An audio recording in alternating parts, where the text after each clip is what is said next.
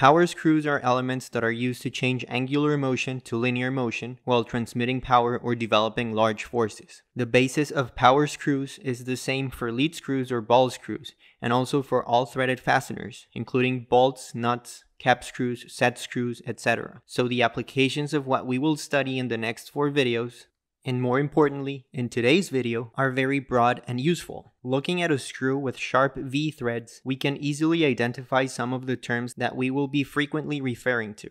The pitch is defined as the distance between adjacent crests in the direction of the axis of the screw. The major diameter D is the largest diameter of the screw thread from crest to crest. The minor or root diameter DR is the smallest diameter or the diameter of the stem. The pitch diameter dP is a theoretical diameter between the two and it's probably the most important one used for many of the expressions we will derive and the thread angle is usually referred to as 2 alpha. The lead L is the distance a nut would move parallel to the axis of the screw when the nut is given one turn. For a single thread screw, the lead would be the same as the pitch, as given one turn to the nut would make it advance from one crest to the next. But for multiple threaded screws, which you can think of as multiple strings around the cylinder, each one being a thread, the lead would be equal to the pitch times the number of threads, as given one turn to the nut would make it advance that many crests. The sharp V thread seen in this drawing is only used to more easily explain the terminology of screw threads. During the forming operation, the crests and roots are usually flattened or rounded, with several dimensions following specific rules depending on the profile M, MJ,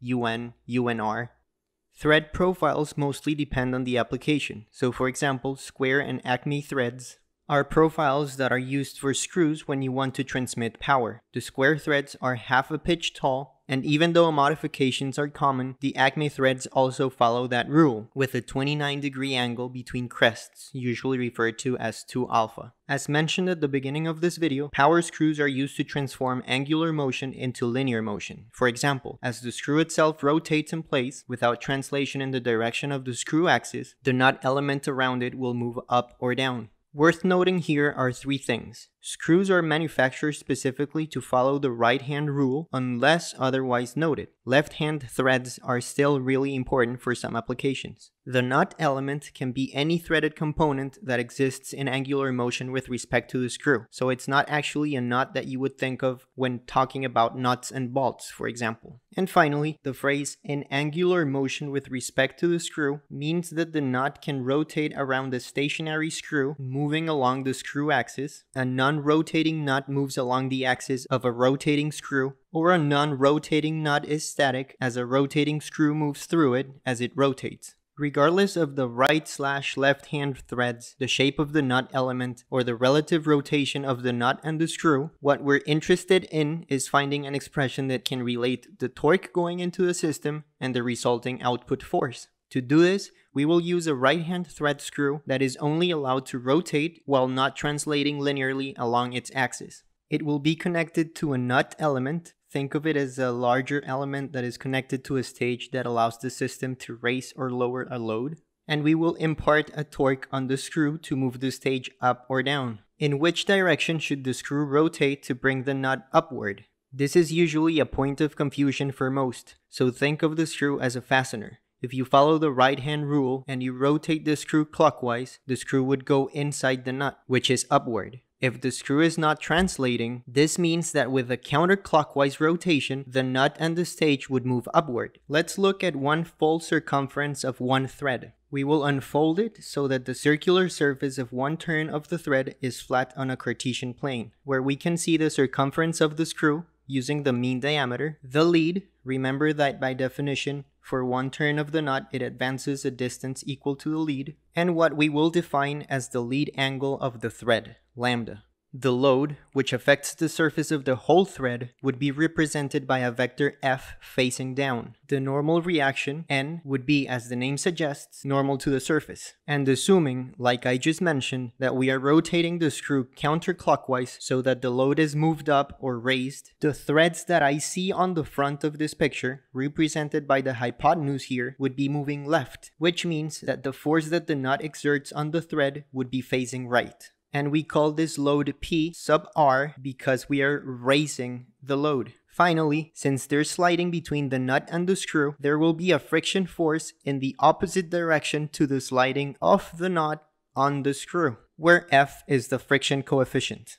From a sum of forces in the y direction, we can solve for the normal force and substitute that expression in the sum of forces in the x direction to solve for PR dividing by cosine of lambda in both the numerator and the denominator, and realizing the tangent of lambda is L over pi dm, we find an expression for the horizontal force PR, which happens tangentially to any point on the threads of the screw. Therefore, PR is used to calculate the torque required to raise the load by multiplying it by the mean radius of the screw, which is the mean diameter over 2. This would be the torque required to overcome thread friction and to raise the load, but we commonly refer to it as the torque required to raise a load. When rotating the screw clockwise, instead of counterclockwise, which means that the stage will go down and not up, and therefore the load will be lowered, not raised, the free body diagram of the thread will have PR facing left, or in this case PL, L for lowering the load. The friction, again opposite to the sliding, would go in the opposite direction. This will result in a similar expression with different signs.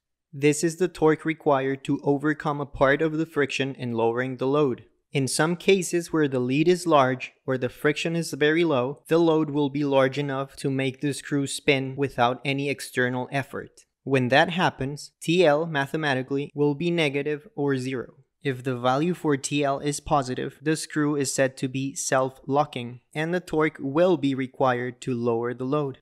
All of this is assuming a square thread profile. For any thread profile that results in a slanted surface of contact between the nut and the screw, like the Acme profile, the force F representing the load would be the vertical component of the actual interaction force between the nut and the screw, F over cosine of alpha. This would result in a slight modification to the expression we found, with a new secant of alpha term in it, which is the more general expression that we will always use, including an alpha equal to zero for square threads, which is basically the previous expression we derived. One last component of power screws configurations is the use of a collar. When the screw is loaded axially, a thrust or collar bearing must be used between the rotating and stationary members in order to allow the screw to rotate without rotating the load. If the load represented by the force F is distributed along the surface of a collar, think of it as a ring, the point load substitution of that distributed load would be located at a distance equal to the radius of the collar, dc over 2. If the normal reaction N is equal to that force F, since the surface is perpendicular to the force, the friction force would be equal to the friction coefficient times the normal. The torque required to overcome the friction would then be equal to that friction force times the radius. And of course, the friction coefficient can be different for the collar, so we name it F sub C. Let's look at a quick example where we use these expressions. For a C-clamp with a handle of 3.5 inches and a screw that is a 3 fourths of an inch dash 6 Acme thread, meaning single threaded and 6 threads per inch, and friction coefficients for the screw and the collar of 0.15, I would like to know the maximum clamping force if the maximum force at the handle can be 44.04 pounds. We will assume a friction diameter of 1 inch for the collar.